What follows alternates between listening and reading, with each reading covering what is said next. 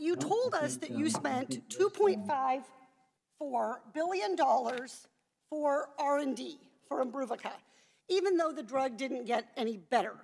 Really, it was all for these innovations and indications, which are designed to keep competitors off the market and find new sales opportunities. Reclaiming, reclaiming my time. Mr. Gonzalez, how much did you spend, did AbbVie spend on litigation and settlements from 2013 to 2018? Uh, I, I don't have that number offhand. We'll be happy to give it to you. Okay, $1.6 billion, 2.45 billion on R&D, 1.6 billion in litigation and settlements. What about marketing and advertising? How much does AbbVie spend on that? Uh, well, marketing and advertising, we spend about $4 billion a year. Yep, 4.7, 1 billion. How about executive compensation, 2013 to 2018? 2013 to 2018, it's probably on average about $60 million a year. Try 334 on for size.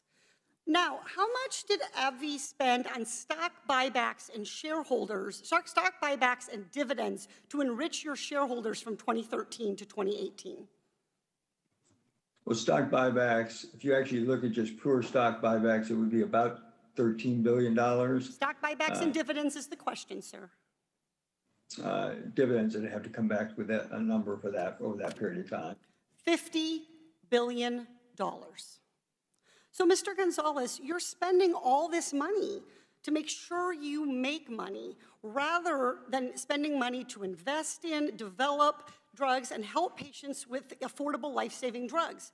You lie to patients when you charge them twice as much for an unimproved drug, and then you lie to policymakers when you tell us that R&D justifies those price increases.